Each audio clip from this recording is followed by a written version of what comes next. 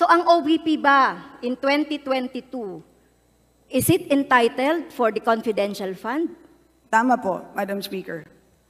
Is the OVP, ulitin ko ah, is the OVP entitled um, entitled po ba ang OVP ng confidential fund?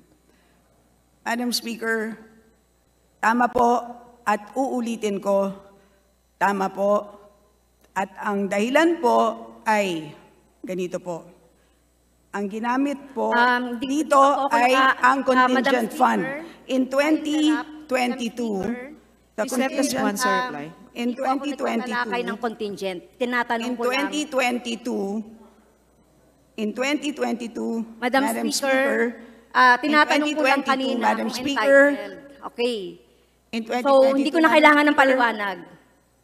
Okay, so, tinatanong ko kanina. Madam Speaker, kanina, sinasabi natin, ah, Madam Speaker, tinatanong ko lang, ang sagot po ay yes or no.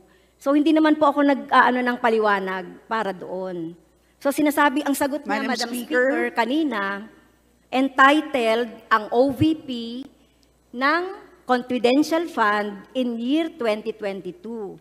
So your answer is yes. Okay?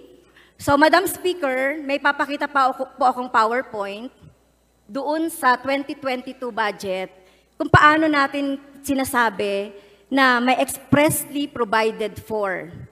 So dito, sa 22, 2022 na budget, makikita natin dyan yung confidential, intelligence, and extra, extraordinary expenses.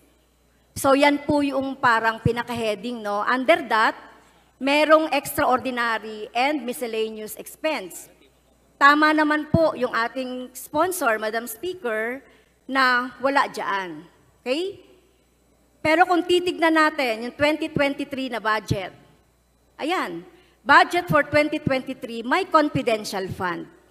So, confidential, intelligence, and extraordinary expenses.